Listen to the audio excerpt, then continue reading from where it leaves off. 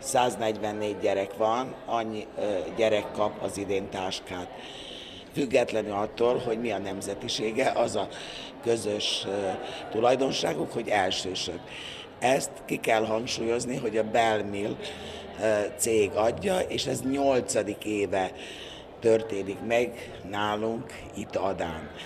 Itt ezek a gyerekek még ezeken a táskákon kívül minden sérült gyerek is kap táskát. Úgyhogy ez már nyolc éve nálunk működik.